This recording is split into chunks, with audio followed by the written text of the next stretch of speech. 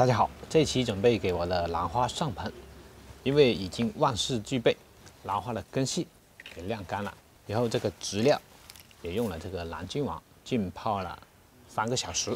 为什么要浸泡呢？就是要增加植料中的有益菌，因为蓝菌王它里面含有丰富的兰花共生菌，这样的话呢，这些植料有益菌多了，上盆之后就能让它快速覆盆，快速修复兰花的根系。我们上盆之前一定要在这个盆的底部垫上一点透水层，我用的是这个陶粒，这个陶粒它又轻，透水性又好，直接给它上盆就可以了。我们先梳理一下兰花的根。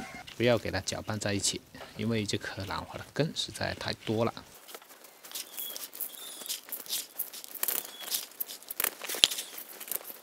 把这些根全部覆盖好之后呢，接下来给它使用一点杀虫药，因为现在开春是小害虫活跃的一个季节，给它放上一两勺这种杀虫药吡虫灵，预防上盆之后受到害虫的侵袭。